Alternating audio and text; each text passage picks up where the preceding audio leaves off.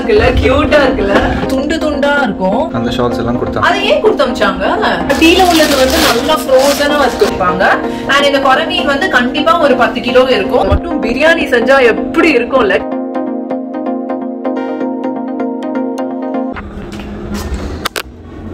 Madam tired ஆயிட்டாங்க. தூக்கி தூக்கி. அப்பா அது செம்ம வெயிட் இதெல்லாம் என்னால தூக்கவே முடியாது. சோ இதுக்குள்ள வந்து ஃபுல்லா ஃப்ரூட்ஸ் கொடுத்து அமைச்சிருக்காங்க இது வாட்டர்மெலன் வாட்டர்மெலன் வாட்டர்மெலன் வாட்டர்மெலன் இது வந்து பைனாப்பிள் செம்ம ஸ்மெல் வருது. பைனாப்பிள் பைனாப்பிள் நாங்க ஆந்திரால இருந்தோம்னா இந்த ஒரு பைனாப்பிள்ல ஒரு டம்ளர் ஜூஸ் போட்டு அவ்வளோ திக்கா கொடுப்பாங்க. அதை உட்காந்து ஜாலியா குடிச்சிட்டு இருப்போம். அப்புறம் கார்ன்லாம் பாயில் பண்ணி வச்சுட்டு ஸ்கூலுக்கு போயிடுவாங்க. இவ்வளவு சாப்பிட்டுட்டு எங்க இருந்து கார்னை சாப்பிடுறது? சோ கார்னை சாப்பிடலன்னு சொல்லிட்டு திரும்பி வந்து செமையா திட்டுவாங்க எங்க ரெண்டு பேரையும். அதுக்கப்புறம் நைட்டு டின்னர் செஞ்சு கொடுப்பாங்க அதையும் சாப்பிடுவோம். அங்க போனாலே செம்ம பண்ணி மாதிரி குண்டாயிட்டு வரும் எஸ்பெஷலி நான். இது என்னதுடா? அதுதான் அந்த அரிசியில் இது அவல். அதுதான் அது கிரைண்ட் பண்ணிட்டு தேங்காவும் ஜாகரியும் போட்டு.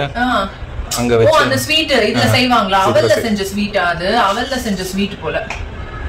ஓகே இந்த ஒரே ஒரு பைனாப்பிள் மட்டும் டேமேஜ் ஆயிருக்கு. இந்த வாட்டர்மெலனோட வெயிட் தான். வாட்டர்மெலனோட வெயிட் ஏன்னா பைனாப்பிள் நீங்க கீழே வச்சிருக்கீங்கல்ல you should have kept it on top so இவ்வளவுதான் வந்து ஃப்ரூட்ஸ் வந்திருக்குது. அண்ட் அடுத்து ரொம்ப முக்கியமான ஐட்டம் நம்ம ஃப்ரீசருக்குள்ள இருக்கு. சோ ஃப்ரீசருக்குள்ள என்ன இன்னும் ஒரு இருக்கு ஐட்டம் இருக்கு. அது அந்த பேக்ல மேல மட்டும் இருக்கு. இது என்னது சைடுல சைடுல அது நான் வாங்கினது பேபிக்கு பேபிக்கு வாங்குனதா? என்னது அது? சாக்கோ ஸ்டிக்ஸ் சாக்கோ ஸ்டிக்ஸா நடுவுல ஸ்டாப் பண்ணல ஒரு கடையில். வேஃபர் மாஸ்டர் அதாவது ஸ்நாக்ஸ் சும்மா. எனக்கு தானே. அவனுக்கு எங்க தெரிய போகுது? Rowdy baby oh! Hot garage hot garage okay then இந்த அழகான ஒரு ஹாட் கேரேஜ் இந்த ஹாட் கேரேஜ் வந்து நம்ம ஹால் தீமுக்கு ப்ளூ அண்ட் ப்ளூக்கு மேட்சிங்கா இருக்கும்னு சொல்லிட்டு இந்த ஒரு ஹாட் கேரேஜ் கொடுத்து அமைச்சிருக்காங்க. இதுக்குள்ள என்ன இருக்கு? அந்த ரிட்டையர்மெண்ட் ஷால்ஸ் கிடைச்சிருக்குல்ல. ஆ. அந்த ஷால்ஸ் எல்லாம் கொடுத்தாங்க. அதை ஏன் கொடுத்து அமைச்சாங்க? நான் ஏதாவது ப்ரைஸ் பண்ணோம்னா ஐயோ இது அவங்க ரிட்டையர்மெண்ட் ஷால் இல்ல. அவங்க கேட்கல உனக்கு ஒன்று பேபிக்கு ஒன்று எனக்கு ஒன்று அப்புறம் உங்க அம்மாக்கு பாட்டிக்கு வேற வேற பாக்ஸ்ல இருக்கு அந்த பக்கம். இதெல்லாம் ஞாபகார்த்தமா வச்சுக்கணும்ல. இதை ஏன் கொடுத்து அமைச்சாங்க? நம்ம ஞாபகார்த்தமா வச்சா போதும்னு சொன்னாங்க. சரி இதெல்லாம் வந்து அவங்க ரிட்டையர்மெண்ட் அன்னைக்கு ஷால் போர்த்துவாங்கல்ல சோ அந்த ஷால்ஸ் போர்த்துனது பட் இதெல்லாம் நாங்க யூஸ் பண்ணட்டுமேன்னு சொல்லிட்டு கொடுத்து அமைச்சிருக்காங்க பட் எனக்கு கஷ்டமா இருக்கு. டெஃபினெட்லி நான் யூஸ் பண்ண மாட்டேன். நான் பத்திரமா தான் வச்சிருப்பேன். இதெல்லாம் வந்து வேல்யூபிள் மெமரிஸ் இதெல்லாம் நம்ம யூஸ் பண்ணி எப்படி அழுக்காக்குறது? நமக்கெல்லாம் யாரும் ஷால் போர்த்துவாங்கல்ல அவங்களுக்காக இத்தனை பேர் இருக்காங்க shawl போர்த்த okay this is a very nice two point five லிட்டர்ஸா எவ்வளோ இது? எவ்வளவோ லிட்டர்ஸ் நல்லா இருக்குல்ல? கியூட்டா இருக்குல்ல?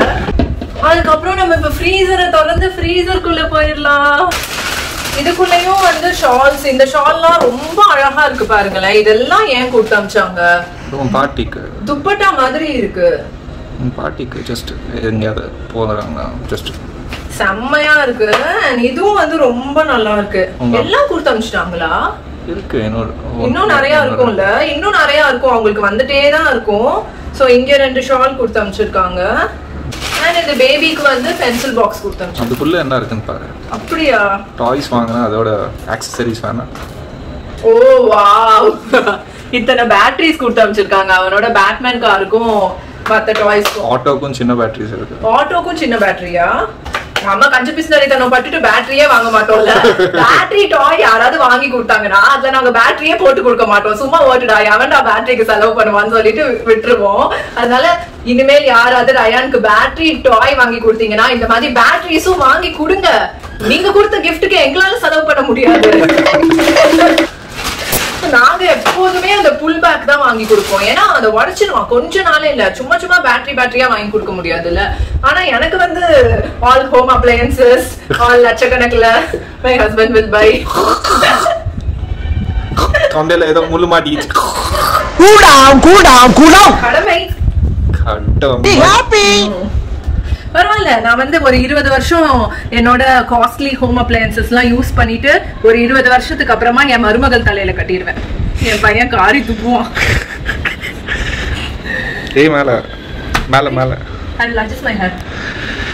ஐயோ இந்த பொண்ணு பண்ற அட்டகாசம் இருக்கே. என்னடா முறப்பு? மூஞ்சிக்கு முகர கட்டிங்க. ஏன்டா வீடியோல ஹேர் கலைஞ்சிருக்குன்னு இவ்வளவு நேரமா சொல்லல? மேல மேல மேல மேல. இந்த பேட்மேன் கார் என் ஃப்ரிட்ஜுக்கு மேட்சிங்கா இருக்குடா இதை நான் அவனுக்கு கொடுக்க மாட்டேன். மாமியார் வராங்க அடுத்த ட்ரெயின்ல ஓகே ஃப்ரீசரை திறந்துடலாமா? எல்லோரும் தயாராக இருக்கிறீர்களா? ஃப்ரீசர்ல இவ்ளோ பெரிய ஐஸ் பேக் இருக்கு.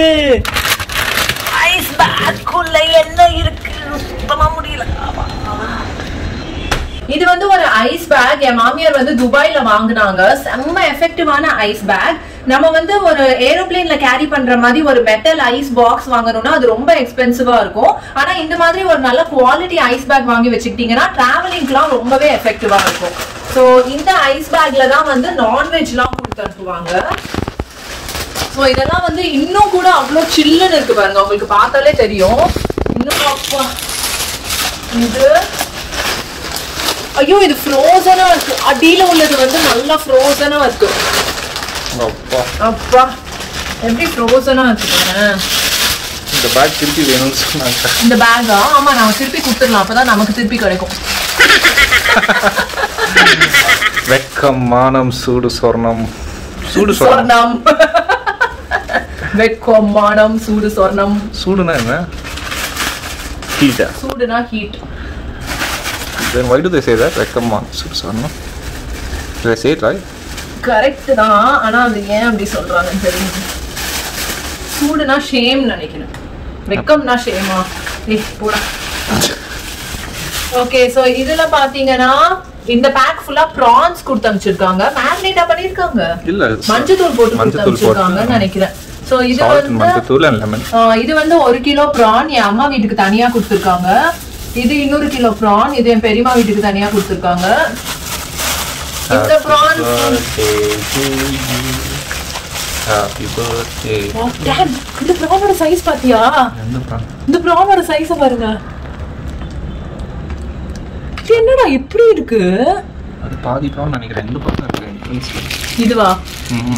ஐயோ இந்த ப்ரானோட சைஸ் பாரு. கை ஃபுல்லா இருக்கா? கை ஃபுல்லா இருக்கு. ஒரு ப்ரானோட சைஸ் இங்க பாருங்க. ஒரு அப்படியே ஒரு பாம்ல வச்சனா அப்படி இருக்கு. சாம சாம. அப்பா இது ஒரு மூணு கிலோ ப்ரான் இது ஒரு ரெண்டு கிலோ ப்ரான் இல்ல டோட்டலி ஒரு ஆறு கிலோ இருக்கும். இது ஒரு நாலு கிலோ இது ஒரு ரெண்டு கிலோ. ஆறு கிலோ ப்ரான் கொடுத்து அமைச்சிருக்காங்க இது வந்து சீலாவதி மீன். இந்த சீலாவதி மீன் மேல பாத்தீங்கனாலே உங்களுக்கு தெரியும் பாருங்க. எப்படி ஒரு ஃபேட் லேயர் இருக்கு பாருங்க. இந்த ஒயிட் கலரா இருக்கிறது எல்லாமே ஃபேட் தான். இந்த ஒயிட் அப்படியே நல்லா ஃப்ரோசனா இருக்குடா இதோ இந்த மாதிரி இருக்கும். அப்படியே ஒரு துண்டு துண்டா இருக்கும். நல்லா லைட்ல தெரியுதா? இத வந்து மோஸ்ட்லி வந்து ஃப்ரை தான் பண்ணணும். ஏன்னா இப்படி நல்லா துண்டு துண்டா இருக்கிறதுனால ஸ்லைஸ் மாதிரி இருக்கிறதுனால இதை ஃப்ரை பண்ணனா சூப்பரா இருக்கும். சோ இந்த சீலாவதி மீன் ஒரு அஞ்சு கிலோ கிட்ட கொடுத்திருக்காங்க. இதுல பேபிக்கு தனியா பீஸ் வச்சாங்க. இந்த மாதிரி பீஸ் முள் இல்லாத பீஸா எங்க இருக்கு? இதுன்னு நினைக்கிறேன். இதெல்லாம் வந்து முள் இல்லாத பீஸ் ஆக்சுவலி இந்த சீலாவதி மீன்ல பாத்தீங்கன்னா இங்கெல்லாம் முள்ளே இருக்காது. இந்த சைட்ல எல்லாம் முள்ளே இருக்காது. இங்க பாருங்க நல்லா இப்படி பிரஸ் பண்ற பாருங்க. அந்த சைட்ல எல்லாம் முள்ளே இருக்காது. இந்த நடு முள் மட்டும் தான் செம்ம பெருசா இருக்கும். சோ நம்ம சாப்பிடும் போது ஈஸியா எடுத்துடலாம் இதெல்லாம். இதெல்லாம் வந்து சென்னையில கிடைக்காத மீன். அதனாலதான் நான் வந்து ஆந்திரால இருந்து இவ்வளோ இது இம்போர்ட் பண்ணியிருக்கிறேன். சென்னையில எங்க தேடினாலும் இந்த மீன் கிடைக்காது. இவ்ளோ குவாலிட்டி கிடைக்காது இவ்ளோ ஃபேட்டியா கிடைக்காது. நீங்க எங்க போய் இந்த ப்ரானை நீங்க சென்னையில தேடுவீங்க? எவ்வளவு விலை இருக்கும் இது சென்னையில? நீங்களே யோசிச்சு பாருங்க. இது ஆக்சுவலி டைகர் ப்ரான்ஸா என்ன? கிங் டைகர் ப்ரான் கிங் ப்ரான்ஸா தெரியாது எனக்கு correct they have different varieties like king ப்ரான்ஸ்ங்கிறது வேற டைகர் ப்ரான்ஸ்ங்கிறது வேற. ஆந்திரால வந்து ஆந்திரால வந்து கிங் ப்ரானே வந்து டைகர் ப்ரான் அளவுக்கு பெருசா இருக்கும். டைகர் ப்ரான் வந்து செம்ம பெருசா இருக்கும். சோ இது வந்து கிங் ப்ரான்ஸ் சான்ஸே இல்ல. இந்த மாதிரி எல்லாம் சென்னையில இதுல மட்டும் பிரியாணி செஞ்சா எப்படி இருக்கும்ல? கேஎஃப்சி ஸ்டைல்ல நீங்க இந்த ப்ரான் ஃப்ரை நம்ம சேனல்ல ரெசிபி இருக்கு. இந்த மாதிரி பெரிய பெரிய ப்ரான்ல கேஎஃப்சி ஸ்டைல்ல ப்ரான் ஃப்ரை செஞ்சா அப்படி இருக்கும். செம்மையா. மொறு மொறு ப்ரான்ஸ் மொறு மொறு ப்ரான்ஸ் சொல்லிட்டு நம்ம சேனல்ல ரெசிபி இருக்கு. அதை ட்ரை பண்ணி பாருங்க. ஆனா குட்டி ப்ரான்ஸ்ல அது நல்லாவே இருக்காதுங்க. இந்த மாதிரி பெரிய ப்ரான் மீட்டியா இருக்கணும். அப்பதான் நல்லா இருக்கும் அண்ட் இந்த மீன் பாத்தீங்கன்னா பாப்பாவோட ஃபேவரட் இது வந்து கொஞ்சம் நிறைய பேருக்கு பிடிக்கும். இந்த மீன் வந்து கொரை மீன்னு சொல்லுவாங்க ஆந்திரால. சென்னையில வந்து இது வெலாங்கு மீன்னு சொல்லுவாங்கல்ல. விரால் மீன் சொல்லுவாங்க வெலாங்கு மீன்னு சொல்லுவாங்க. அந்த மீனோட ஃபேமிலி தான் இது. எனக்கு இது சேமா இல்லனா வேற மீனான்னு தெரியல. ஐ திங்க் இது கொஞ்சம் வேற மீன் தான். ஆனா அந்த வெரால் மீனோட ஃபேமிலி தான் இது. இது அவ்வளோ ஈஸியா சாவாது. அது ஈல் மாதிரி இருக்கும். அதோட வால் வந்து துடிச்சிட்டே இருக்கும். அந்த வீடியோ என்கிட்ட இருக்கு. வீடியோ கிளிப்பிங் நான் சைடுல போடுறேன். வால் வந்து அப்படியே அடிச்சுக்கிட்டே இருக்கும். அந்த உயிரோட அப்படியே கொன்னு உடனே சமைப்பாங்க. அப்ப செம்ம டேஸ்டா இருக்கும். அண்ட் சென்னையில இந்த மீனும் கிடைக்காது. சோ இந்த ரெண்டு மீன் தான் நான் வாங்க சொல்லியிருக்கிறேன். இது வந்து ஸ்பிளிட் பண்ணலையா? இது ஆல்ரெடி ஃப்ரீஸ் ஆயிடுச்சு. ஸோ ஸ்பிட் பண்ண முடியும் ஓகே ஓகே இப்ப இதுலயும் வந்து ஒரு கிலோ என் அம்மா வீட்ல கேட்டிருந்தாங்க. ஒரு கிலோ என் பெரியம்மா வீட்ல கேட்டிருந்தாங்க. சோ அவங்களுக்கு கொஞ்சம் ஸ்ப்ளிட் பண்ணி கொடுத்துட்டு எனக்கு நான் எடுத்துப்பேன். ஒரு கிலோல வந்து ஒரு எட்டு ஒன்பது பீஸ் நிற்கும் இதுல. ஸோ அவங்களுக்கு கொடுத்துட்டு இதுல எடுத்துப்பேன். அண்ட் இதெல்லாம் வந்து நம்ம ஃப்ரீஸ் பண்ணி என் ஃப்ரீசர் ரொம்ப சூப்பர் ஃப்ரீசருங்க இப்போ சில பேர் கமெண்ட் பண்ணுவாங்க இதெல்லாம் நீங்க ஃப்ரீஸ் பண்ணி சாப்பிடக்கூடாது ஃப்ரெஷ்ஷாக தான் சாப்பிடணும். அப்படின்னு கிடையவே கிடையாது. லைக் என்னோட ஃப்ரீசர் வந்து செம்ம ஃப்ரீசர் அது அப்படியே ஃப்ரெஷ்னஸை வந்து அப்படியே ரீடைன் பண்ணும். ஸோ நாங்கள் வந்து இப்படி ஆந்திரால இருந்து வருதுன்னா அதை நாங்கள் வச்சு சாப்பிடுறதுல தப்பு இல்லை ஏன்னா மத்த நேரத்தில் நாங்கள் சென்னையிலேருந்து தான் சாப்பிட போறோம். ஸோ அங்கே போனதுனால என் மாமியார் கொடுத்து நாங்கள் வச்சு சாப்பிடுவோம். அவங்க எவ்வளோ எஃபர்ட் எடுத்து இவ்- மீனெல்லாம் க்ளீன் பண்ணி உப்பு மஞ்சத்தூள் போட்டு பேக் பண்ணி கொடுத்து அமைச்சிருக்காங்க அந்த எஃபர்ட் அப்ரிஷியேட் பண்ணணும்ல. ஓ செம்ம. எனக்கு வந்து இந்த எல்லா ஐட்டம்ஸ்லயும் மோஸ்ட் ஃபேவரட் வந்து இந்த ப்ரான்ஸ் முக்கியமா. ஏன்னா நான் ஆந்திரா போகும்போதெல்லாம் அப்படி எனக்கு ரொம்ப பிடிக்கும். ப்ரான்ஸ் ஃபிஷ்ஷு மீன் குழம்பு இந்த சாப்பாடு ஐட்டம்ஸ் தான் எனக்கு மோஸ்ட் ஃபேவரட் டோட்டலா இதுல எவ்வளவு இருக்கும்னு பாத்தீங்கன்னா ஒரு ஆறு கிலோ ப்ரான்ஸ் இது வந்து ஒரு ஏழு கொரை மீன். ஏழு கொரை மீன்னா கிட்டத்தட்ட ஒரு டென் கேஜிஸ்க்கு மேல இருக்கும் கொரை மீன். அண்ட் இந்த சீலாவதி மீனும் வந்து ஒரு அஞ்சு கிலோக்கு மேல இருக்கும். ஏன்னா சீலாவதி ஒரு மீனே வந்து டென் கேஜிஸ் சோ இது வந்து எப்படி வாங்குறாங்கன்னு தெரியல. ஒரு மீன் வாங்குனாங்களா? ஒரு பெரிய மீன். ஒரு பெரிய மீன்னா பத்து கிலோ இல்ல. சோ இது வந்து ஒரு எட்டு கிலோ அளவுக்கு இவங்க கொடுத்து அமைச்சிருப்பாங்க அண்ட் இந்த கொரை மீன் வந்து கண்டிப்பா ஒரு பத்து கிலோ இருக்கும். அண்ட் எறா வந்து அஞ்சு கிலோக்கு மேல. சோ இப்போ இதெல்லாம் எடுத்து நம்ம ஃப்ரீசர்ல வச்சிடலாம்.